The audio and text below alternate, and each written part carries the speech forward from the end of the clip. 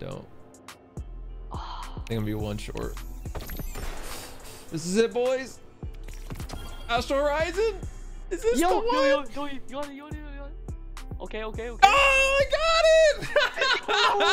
oh, Fuck, it! fuck, dude, you got the perfect. Nice.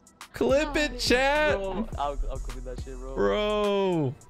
What's going on, guys? Apathettic here with all your tips, recommendations, and everything in between. And today we are talking about Astral Horizon since I finally got a pretty good roll that I'm excited to share with you guys. If you couldn't tell, and we will be talking about why it's so important you get your hands on this shotgun. Let's get into it. Astral Horizon is infamously known as the weapon that started token farming at 3 wins back in week 2 of Trials of Osiris.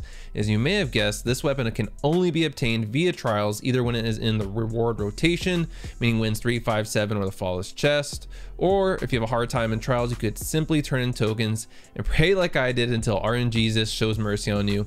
If you guys couldn't tell from the clip, I've been grinding for this shotgun for a long time.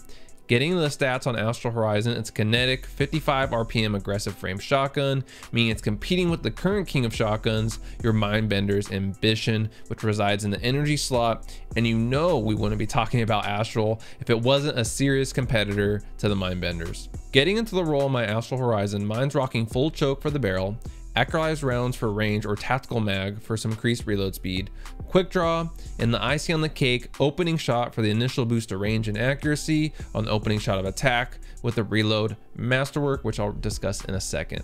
Now, in terms of rolls, what you guys are going to be looking for here as far as barrels, I'd be happy with either full choke or rifled barrel. In the next column, the ideal perk would be assault mag to make your shotty fire just a touch quicker, followed by either tactical mag or accurized rounds.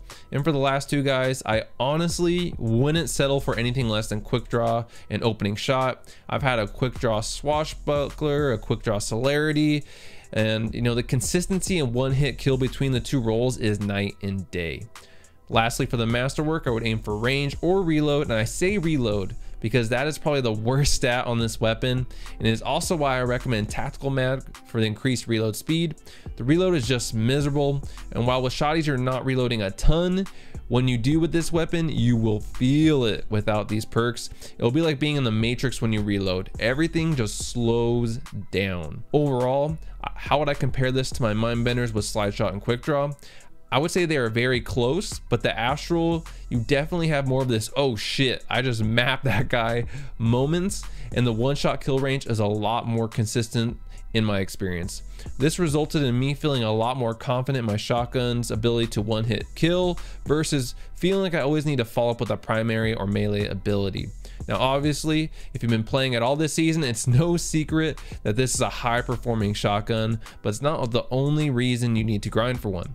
The other reason is somewhat controversial topic, and that's weapon retirement. Weapon retirement is something the game director of Bungie, Luke Smith, talked about in one of his director cuts. And for those not familiar with what weapon retirement is, it's when after a certain amount of time, let's say a year, your Mindbender's ambition will be unable to be further infused to a higher light level. It's not being taken away from you and you'll still be able to use it, but it's light level and thus its effectiveness in light, light level enabled activities like trials will be limited.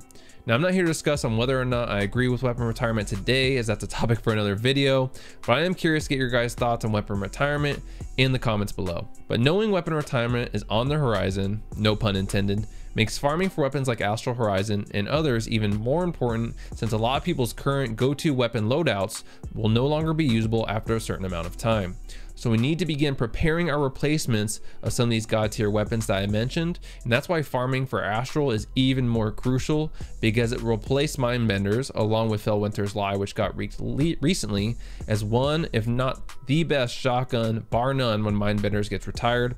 And that's even with the fact that Felwinter's, based on the leak, won't have quick draw, which in my opinion would make it even with all its perks, less of a shotgun. But because of light level being enabled for that weapon, or not so much enabled, but being able to be infused, it will still be the preferred option. And guys, I know Trials is not in the best state right now, but try to stomach through it, run with some friends, not take things too seriously, and farm for some tokens to try to get this weapon, guys.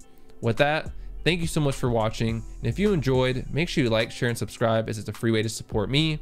And if you want to see more moments like the clip you saw in the beginning, make sure you click the link down below to follow me on Twitch so you guys can see me live. And I'll catch you guys in the next one.